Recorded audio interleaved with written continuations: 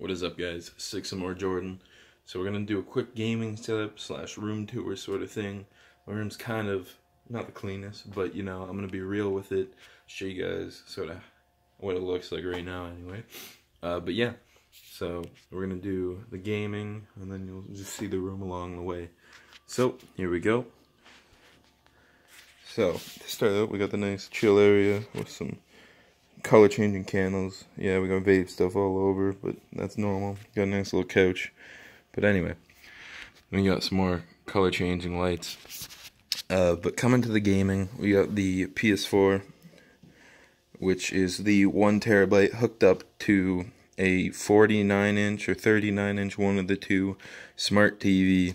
Uh, it's not a bad TV. Got it for Christmas uh, last year. So it's okay, it gets the job done. Unfortunately, not the best color in games and stuff, but you know, that's okay. Not much input lag or anything. And then coming over to my main area, we got some vape stuff, of course, you know, you gotta keep the, the vape game going. uh, roots of my channel, if anyone remembers.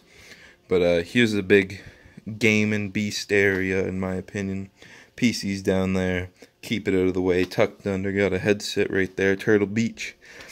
Um, and then we got the HyperX Elite Alloy keyboard. Got some light settings uh, you can flip through. I usually just keep it on the normal red static or whatever whatever it's called. Uh, then we got a Logitech mouse. Right there, the blue snowball still rocking.